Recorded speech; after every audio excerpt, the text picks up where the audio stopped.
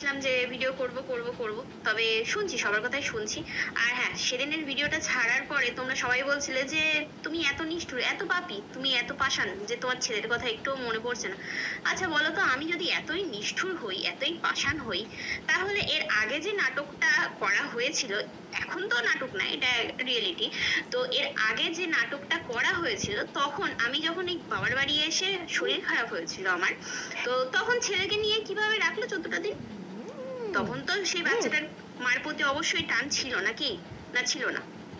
তখন যখন রাখতে পেরেছে এখনও রাখছে তখন আমি পাষাণ হয়েছিলাম এখনও হচ্ছি।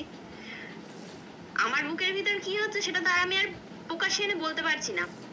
আর হাটে বাজারে তো আমাকে বিক্রি করেই দিয়েছে। সে তো আর কিছু বলার নেই।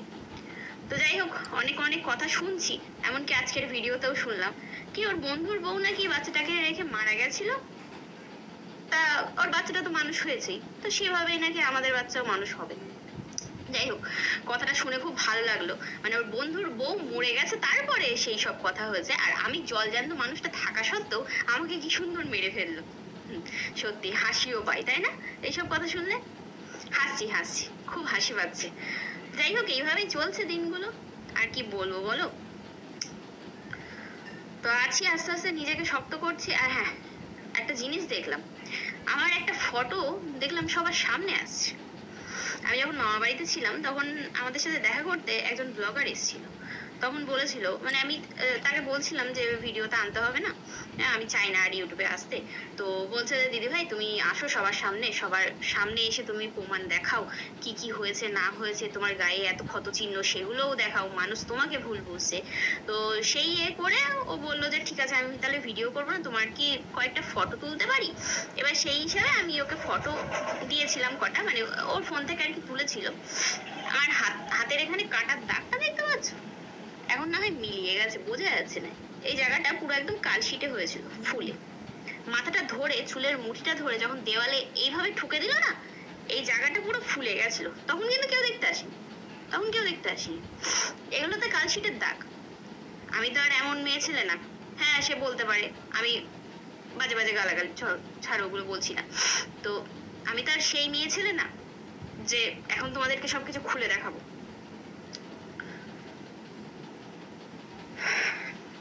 চোদ্দই আগস্ট রাত থেকে আমাদের ভিতরে ঝামেলা। সেই ঝামেলাটা টান- টানতে টানতে তার পরের দিন পর্যন্ত গেল, ভাবলাম চলো সেখানে গিয়েও হয়তো শেষ হয়ে যাবে সবকিছু। আমাদের এই বাড়ির থেকে আমার মা, দাদা গেল, গিয়ে সবকিছু শুনলো টুনলো।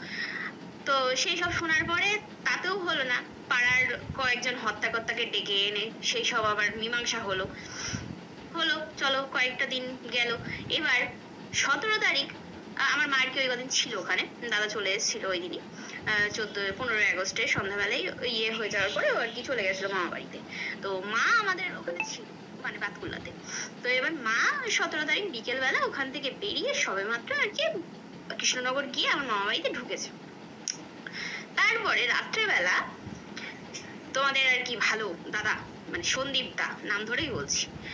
তো উনি কি করেছে, দশ টাকার মদ খেয়ে ব্যাস, এবার বউ ধরে পিটাও।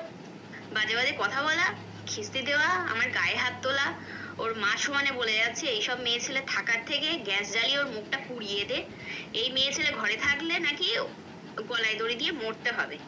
আমি নাকি বাড়িতে বিষ অলক্ষী অপায়া। আচ্ছা বলো তো, আমি যদি অলক্ষী অপায়া হতাম, আমার বিয়ের পর থেকে তো ভিডিও করা। তাহলে বিয়ের আগে মানে বিয়ের পর পর যখন নতুন ভিডিও করতাম, তখন তাদের পরিস্থিতিটা কীরকম ছিল? আর এখন পরিস্থিতিটা কীরকম? আজ পাঁচটা বছর ধরে তো এই লাইনে আছি। যেটুকু ইনকাম করছে, সেটুকু তো আমার কাছে কিছুই নেই। আমি তো দেখতে পাচ্ছি না। আমি তো কিছুই দেখতে পাচ্ছি না। সন্দীপ আজ উঠতে বললে ওঠ, বসতে বললে বস, এখানে যাস না, ওখানে যাস না, এই করিস না, সেই করিস না। একটা সোনার জিনিস গড়াতে গেল। হ্যাঁ ওর মা বারণ করে দিল, ব্যাস, হয়ে গেল। আবার কি? এইটাই হচ্ছে, এটাই চলে আসছে। যখন এতগুলো বছর আমি চুপচাপ থাকলাম, মুখ বুঝে পাঁচটা বছর তো আর আমার ছেলে হয়নি, আমার ছেলের বয়স আড়াই বছর। তো ছেলেটাকে তো আমি আমি দশ মাস, দশ দিন পেটে মানে ধরেছি। আমি বেরোনোর দিনও বলেছিলাম যে আমার ছেলেকে আমার আমার কাছে দিয়ে দাও। বলছে, না, তুই ছেলেটাকে কি করবি? তুই তো মেরে ফেলবি। আচ্ছা বলো তো, একটা মা তার নিজের সন্তান নিজের পেট কেটে বের করা ছেলেকে কখনো মারতে পারে? সিম্প্যাথি গেম খেলছে নাকি? হ্যাঁ ক্যামেরার সামনে ছেলেটাকে এনে।